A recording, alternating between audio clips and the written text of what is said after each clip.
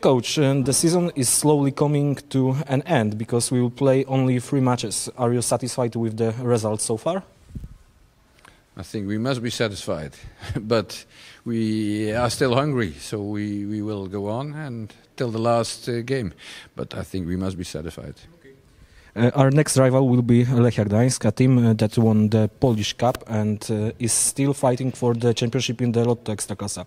So Lechia will be a very difficult opponent. Yeah, and in the last round, uh, with the last eight, every opponent is difficult. But I think if you play against us, it's also difficult, and we should keep that.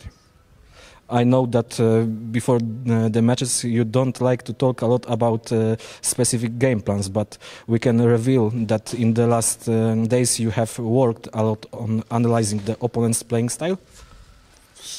I always analyze opponents, and I always analyze our own game. So yesterday was a day for me to to see the game against Lech Poznan again, and also Legia against uh, uh. So. We need to analyze. We need to know what is going good and what is going not good. So we have to improve it. A few weeks ago, we had problems with injuries and suspe- suspensions due to yellow cards. Now uh, the situation is better, right?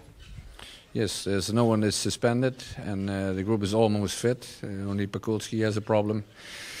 But the end of the season, always small problems. Uh, they get tired. That's normal. But uh, it's the, the, the last sprint to the to the end of the competition, and we will give 100%.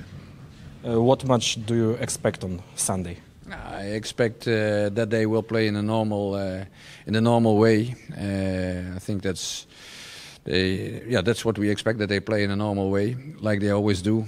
Uh, and we will do that uh, in the, as well. We will do that as well, and then you get an interesting game again.